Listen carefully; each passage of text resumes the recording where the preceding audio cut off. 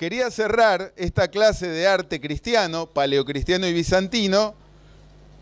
Hemos dicho que si no nos podemos ir a la Roma antigua, a los suburbios de Roma a ver catacumbas o a ver basílicas, si no nos podemos ir a, Bizancio, a Constantinopla a ver a Santa Sofía, podemos ver iglesias neobizantinas en Buenos Aires, podemos ver películas.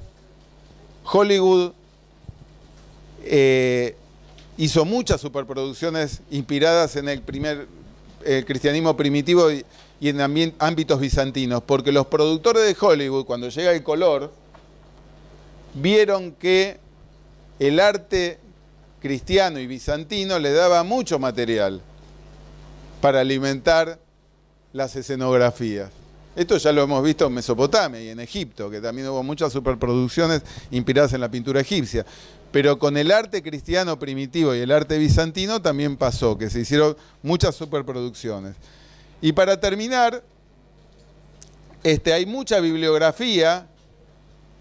Ustedes están en una etapa que tienen muchas materias, muchas asignaturas, pero hay muchos textos apasionantes.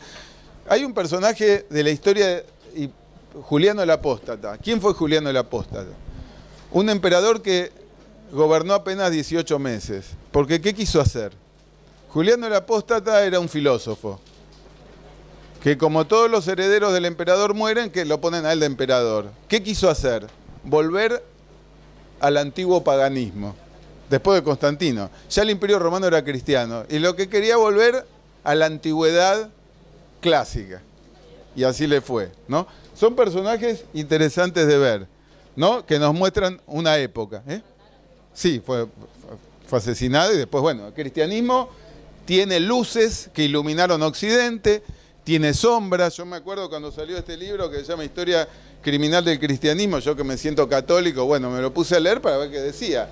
Entonces, la iglesia, si bien es una institución para muchos divina, está hecha por hombres, de manera tal que los hombres son los que hacen la historia y los que hacen la historia del arte. Bueno, acá vamos a cerrar eh, y próxima clase, Edad Media.